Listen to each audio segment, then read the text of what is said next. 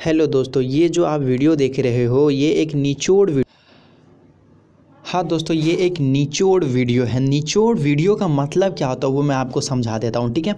एक एग्जांपल है तो छोटा सा कॉक्स एंड किंग आपको पता ही हो तो होगा दोस्तों बिज़नेस का क्या काम काज है? श्री राम ट्रांसपोर्ट आपको पता ही होगा दोस्तों, गोदरेज, ठीक है? अब एक बात बताइए, हम यहाँ पर एक बिज़नेस को क्या करते हैं दोस्तों? फोकस करते हैं श्री राम ट्रांसपोर्ट। है क्या ये ट्रांसपोर्ट का बिज़नेस है? क्या आपको लगता है कि ट्रांसपोर्ट का बिज़नेस चलेगा? इस महामारी में नहीं चलेगा। लेकिन दोस्तों, जिनके भी पोर्टफोलियो में होगा fifteen percent sixteen percent fifteen percent fourteen percent इतना बड़ा नुकसान होता होगा दोस्तों, जितने भी छोटे इन्वेस्टर हैं, उनको एक बहुत बड़ा झटका लगता होगा। इसी के लिए, इसी चीज़ का सॉल्यूशन निकालने के लिए मैंने दोस्तों ये वीडियो बनाया है। क्योंकि दोस्तों, हमें पता ही नहीं चलता था कौन सा स्टॉक गिरने वाला है और कौन सा स्टॉक गिरने वाला नहीं है मतलब कौन सा स्टॉक प्रॉफिट देने वाला है। तो यहाँ मैंने दोस्तों, कम से कम 200 से 500 स्टॉक का निचोड़ मैंने आप लोगों के बस पाँच पेज में दिया है, बस पाँच पेज में। और सबसे ज़्यादा तो मैंने फोकस किया है इमेजेस के ऊपर, क्योंकि इमेज एक ऐसा चीज़ है दोस्तों, जो लोगों के माइंड में छप जाता है और फिर वो नहीं मिटता है, ठीक है? तो सबसे पहले कौन सा शेयर नहीं खरीदना चाहिए इस महामारी में, जिससे आपको नुकसान नहीं होगा? हम वैसे ऐसे ऐसे ऐसे दोस्तों हम सेक्टर में ध्यान देने वाले हैं डायरेक्ट हम सेक्टर में जाएँगे। आप सेक्टर में जाएँगे तो ऑटोमेटिक पता चल जाएगा कि ये सेक्टर का ये स्टॉक है तो हमें नहीं खरीदना है भाई। अब एक एग्ज़ाम्पल मैं आपको देना स्टार्ट करता हूँ, ठीक है? ये है दोस्तों एयरलाइन सेक्टर एक मिनट सॉरी ये है एयरलाइन सेक्टर क्या आपको लगता है एयरलाइन सेक्टर चलेगा? सब कुछ बंद कर दिया गया है। सब कुछ जेट एयरवे से देख लो स्पाइस जेट सब कुछ बंद कर दिया गया है दोस्तों, ठीक है? तो आपको लगता है जब पूरा एयरपोर्ट ही बंद है तो किसी का भी बिज़नेस चलेगा, नहीं चलेगा। तो अब हमें क्या करना है दोस्तों?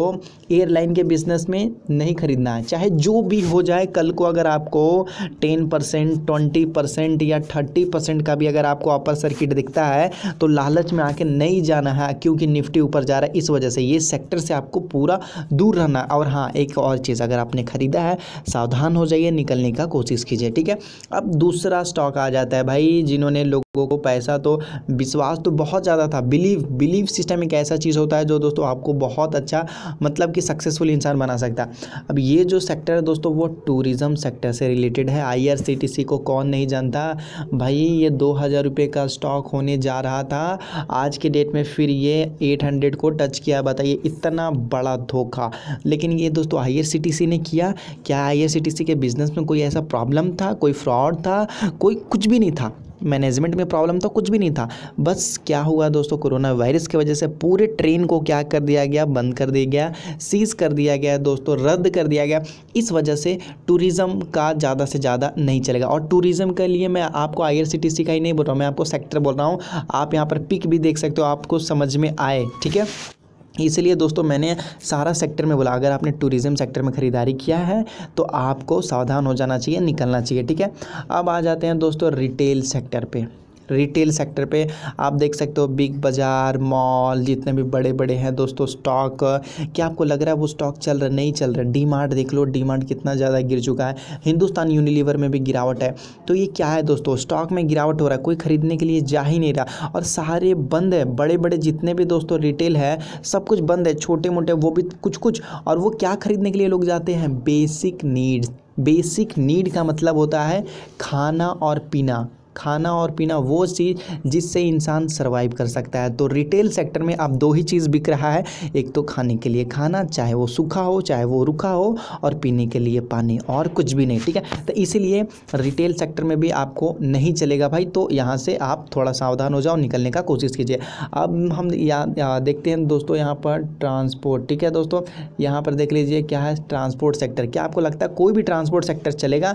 देख लो कोई भी ट्रांसपोर्ट सेक्टर चलेगा भाई नहीं चलेगा। ये देखिए, यहाँ रोड पे दिखाया जा रहा है कि यहाँ पर रोड बहुत ज़्यादा जो है जाम है, ट्रैफ़िक है।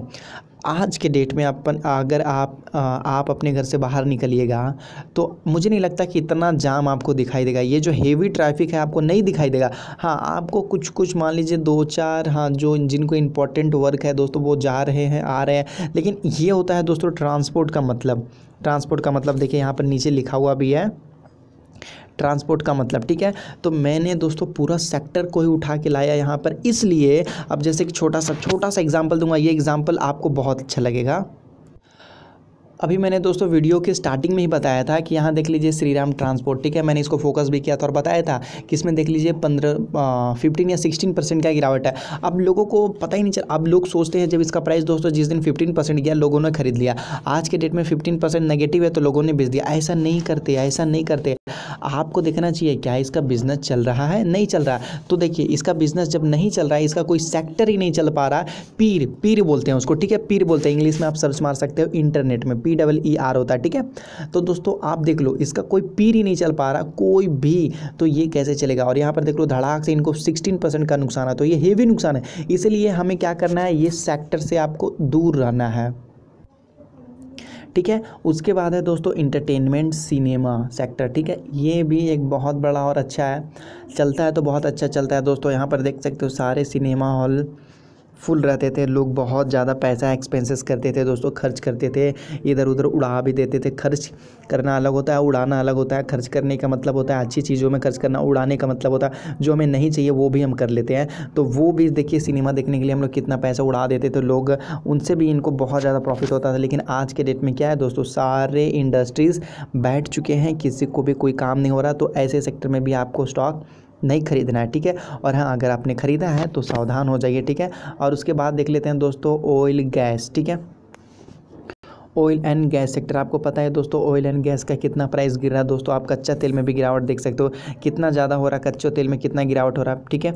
तो क्या ये सब किसकी वजह से हो रहा है? ये कोरोना की वजह से हो रहा था दोस्तों, मैंने लगभग मैंने सेवन टू एट सेक्टर ऐसे फाइंड आउट किए हैं, जिनमें आपको नहीं खरीदना है जब तक कोरोना वायरस का इम्पैक्ट मतलब कि धीरे धीरे डाउन नहीं हो जाता है, या दोस्तों, कोई मान लीजिए उसमें सुधार नहीं आना स्टार्ट होता है, तब तक आपको नहीं खरीदना है। ये रिक्वेस्ट है कि जो मैं आपको सेक्टर दिखा रहा हूँ, अगर वो सेक्टर में आपने स्टॉक खरीदा तो निकल जाओ। अगर मैं दोस्तों एक एक स्टॉक के बारे में वीडियो बनाता एक एक स्टॉक के बारे में वीडियो बनाता तो हो सकता था कि मुझे बहुत ज़्यादा वीडियोज़ बनाने पड़ते, या तो ये भी हो सकता था कि कम से कम सौ, दो स्टॉक में मैं वीडियो बनाना पड़ जाता और फिर भी मेरे हाथ से कुछ ऐसे भी स्टॉक हैं जो निकल जाते हैं और कुछ लोगों को प्रॉब्लम होता, ठीक है? तो आपने, आपके पोर्टफोलियो में जो भी स्टॉक है, आप आप जाके चेक कीजिए नेट में कि आपका जो स्टॉक है वो किस सेक्टर से है? क्या वो ऑयल एंड गैस सेक्टर से है?